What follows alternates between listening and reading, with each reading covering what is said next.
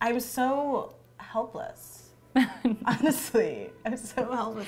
Yesterday, she told me she was like, you know, you need to put a headband on your hair when you wash your face so you don't mess up everything I do. And I'm like, oh right.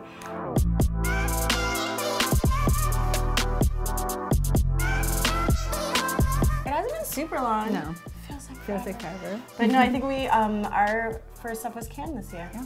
Yeah. And I was like so honored too. It was like a big moment for you, especially Yeah. like beauty red carpet and BlacKkKlansman and yeah, it was super cool. We did like lots of beauty looks, so get to play around. And we, I mean, we did like Yeah. four a day or something Yeah. crazy. Like it was a lot. Yeah.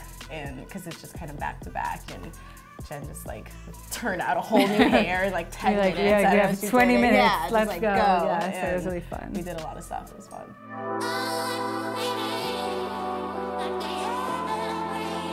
I loved our amfAR thing. I feel like everybody talks about That was that. be- definitely my favorite. Jen talked me into getting bangs, and I needed a lot of convincing. A lot of convincing. Every single day, I was like, "You're doing a bang. We're doing bangs. We're, doing bangs. I was like, maybe we can try it. So she came over and we had some drinks and she stuck a bang on me. She's we like, we pre, we pre did it. I was Yeah. like, okay, so that way she could feel like more Exactly. safe and secure.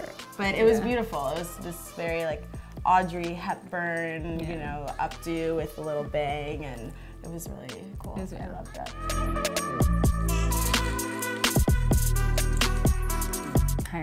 No, I'm just kidding. Not really. really? Um, no, It's not. It, it was a piece a though. piece. Like, It's don't like- go cutting your hair No, like that. I- it's yeah. not gonna look good. No, it's definitely not. I always think a fake bang is better. Yeah, you get Yeah. you go get a fake bang. You know, you get your hairdresser to cut it, and um, it's pretty much straightforward. You know, like it's a French twist bun. You know, but um, make sure that you know it matches your hair. I think that's the most The important same thing. color. Yeah.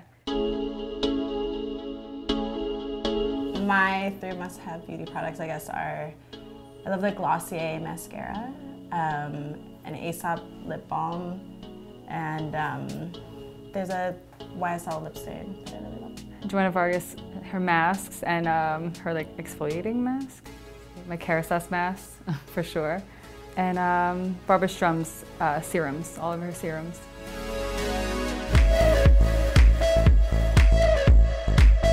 Mean, just had to have everything in my bag. So where, wherever I go, I always bring wigs, I bring pieces, hair extensions, every single product un, under the earth. So I think it's just important just to have everything at every moment.